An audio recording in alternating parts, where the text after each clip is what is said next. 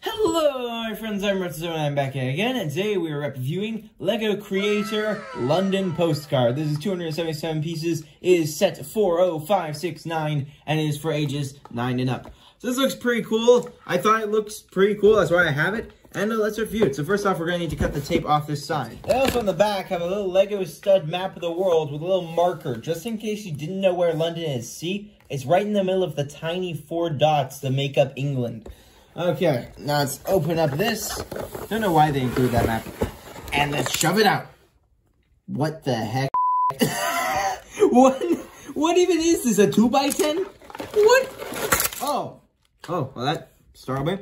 We have two we have a bag two, another bag two, a sticker sheet, a very bent sticker sheet, a lot of plates. Why are all the black plates not in a bag?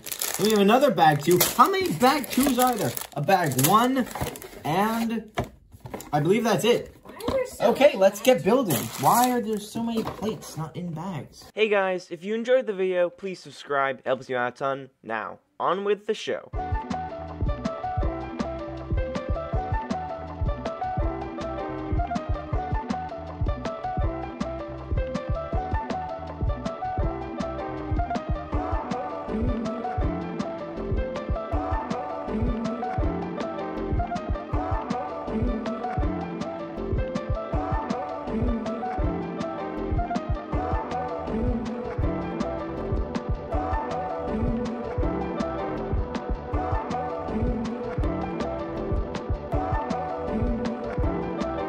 Okay, so we're back from the build laps, and I love this set.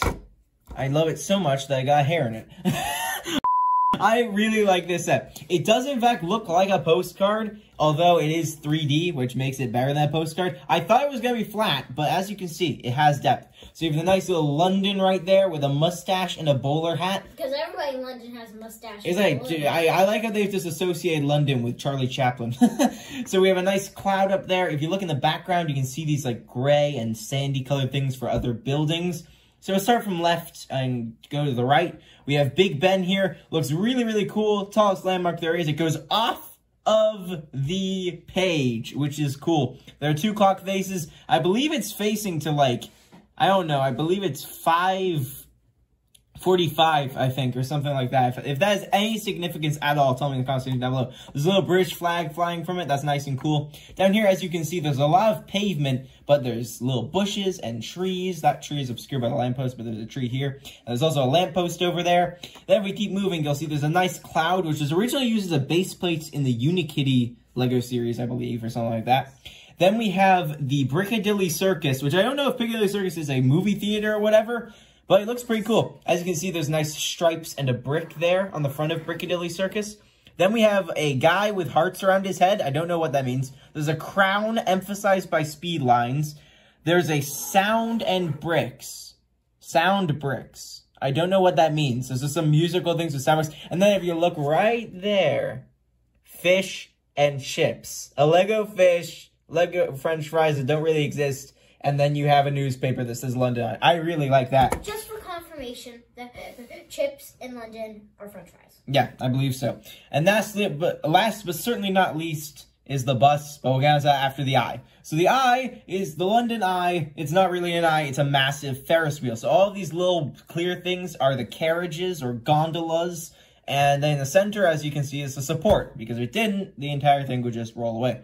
But it's very cool. It's nice and large. Doesn't go off the screen except for this little thing right here, but still pretty cool. And last but not least, we have the infamous double-decker bus. I really like this. There's a little see-through plate on the bottom, so it looks like it's floating. These wheels are not dumbbell pieces like I thought they'd be. They're, in fact, a little uh, two flat studs put on either side. And I really like it. It does, in fact, have two floors and it looks really cool. Now, the one thing I have to say before I give my opinion of this postcard is the fact that there are, in fact, more than just this postcard. London is not the only one. As you can see from the instruction booklet, there is also Paris, which for whatever reason has snakes on the name tag, which is the Eiffel Tower, balloon, Arch de Triomphe, bridge. You also have New York, which I might be getting soon, as the Eiffel Tower, no, Eiffel Tower, Brooklyn Bridge, Lady Liberty, Empire State Building, and the Chrysler Building. And then you also have Beijing, which has the Great Wall of China, and I believe the Palace of the Kings, I think. And there's one other that isn't here, Australia. You have all the great cities and then you have Australia. Just general Australia. I really like it. I'm not like saying it's a bad card. I just don't understand why there's a bunch of good cities and then there's just a random location. Also, the, uh, China has emperors, not kings. Whatever, the Palace of Emperors. Um, yeah, so I really like this thing. It's really, it's not really a play toy. You don't really play with it, but I think it looks really, really cool. What do you think of it, Patsy? I think it's really cool. And what do you think, D-Lot? I like it. Yep. Alright, so that's our positive review. I hope you guys enjoyed this video. This has been a blast building this little Lego set, and I will catch you next time. Sayonara, Ainara.